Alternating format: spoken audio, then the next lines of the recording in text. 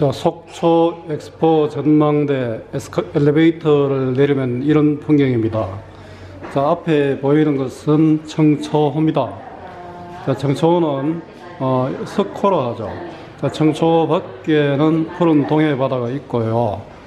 어, 청초 건너편에 다리가 하나 있는데요. 저 다리는 청호대교죠. 청호대교로 어, 저 다리 건너편에는 또 아바이 마을이 있습니다. 어, 다리 옆으로 보이는 것은 속초항이고요. 속초항 옆 뒤로 건물이 있는 곳이 바로 속초시가지입니다. 속초는 한 9만 명의 사람들이 사는 곳으로 음, 도시죠. 속초는 바다도 있고 또 건물도 있고 산들도 있습니다. 저 멀리 바라보이는 것은 설악산입니다.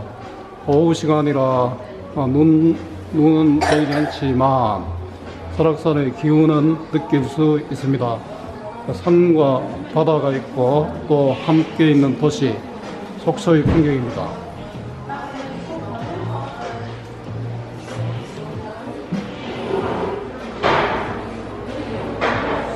지금도 속초는 개발이 어, 진행 중인 것 같습니다. 저 아파트 새로 짓고 있네요. 어, 많은 아파트들이 있고요. 지금 여기는 엑스포가 아마 어, 열린 엑스포 공원인 듯 합니다.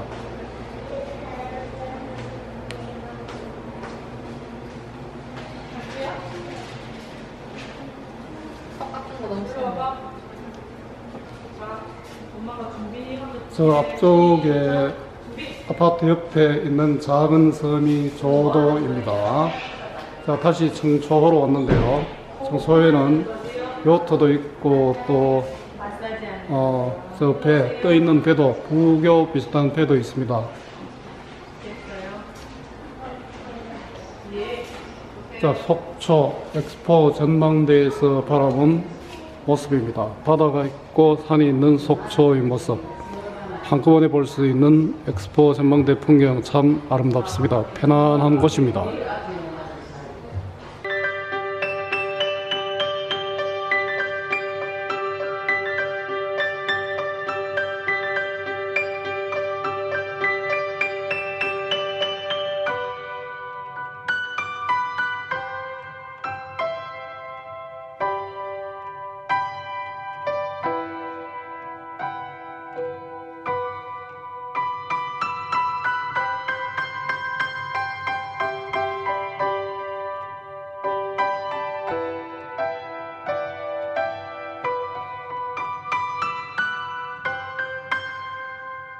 속초 엑스포 타워에서 바라본 설악산 풍경입니다.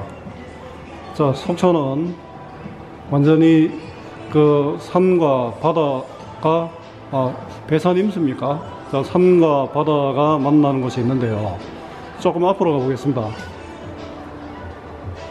자, 여러분들 화면 중앙에 있는 바위, 자, 울산바위 보입니까? 자, 울산바위 옆으로 또 봉우리들이 있고요. 아마 지금 제가 보고 있는 저쪽이 어, 대청봉, 중청봉, 소청봉이 있는 곳인 듯 합니다.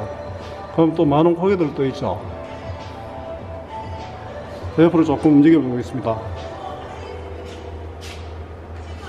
자, 보이는지 모르겠는데, 지금 저 화면 중앙에 저 제일 높은 곳 말고, 제일 높은 곳에서 아래쪽으로 세개 봉우리 좀 내려오면은 하얀 집 있는 데가 보입니까?